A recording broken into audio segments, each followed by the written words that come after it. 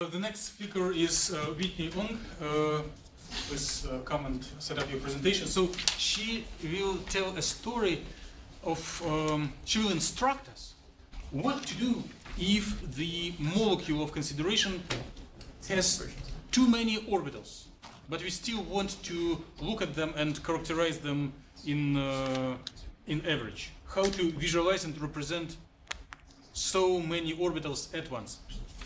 What is yours? Um, so hi, I'm Whitney. I'll be talking about how to get all of your density states um, and represent them into a graph. Um, how to generate a graph, Aaron will talk about it later. So um, let's go through with um, what, how, what's the density of states mean. So in general, density of states um, is the system that de describes the number of states per interval energy at the each energy level that are available to be accepted by occupied by electrons. Um, a high density of states at a specific energy level means that there are more states available for occupation of uh, electrons. Um, a high density of states at a specific energy level means that there are more states available for occupation of uh, electrons.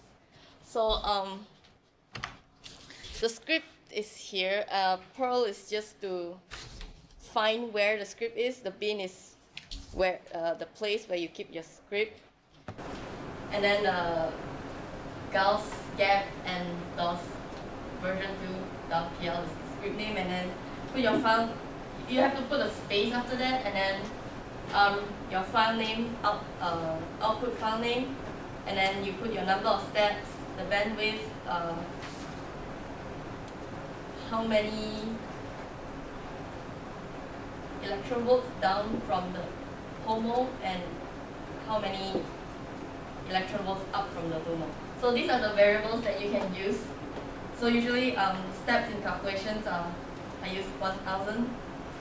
Um, bandwidth you can use anywhere from 0.05 to 0.1 electron volt.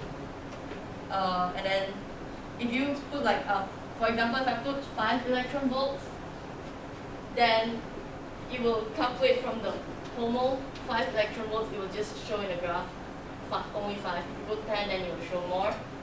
Same go for the LUMO. 5 from where your LUMO starts and go.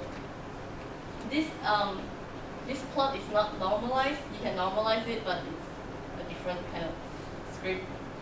Script, I guess. So for example, if you insert this into your command window. Um,